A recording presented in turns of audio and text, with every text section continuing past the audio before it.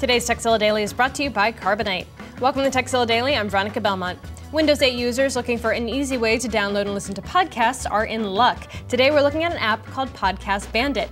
First, download and install the app from the Windows Store, and then once it's done, open it up and you'll see some recommendations if you haven't added anything yet. To subscribe to a show, either paste the podcast URL into this search field here, or just simply search for the podcast of your choice. Let's do Sword and Laser.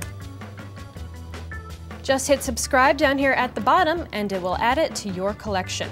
To listen, go into the podcast and download or add to a playlist. Then head into your music app and start listening or play directly from the app itself.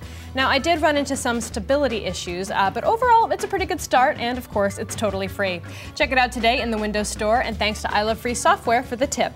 Now, if you have a tip you'd like to share with the world, let us know. Email us at tekzilla at revision3.com. And don't forget tekzilla.com the place to find more tips, tricks, product reviews, and how-tos.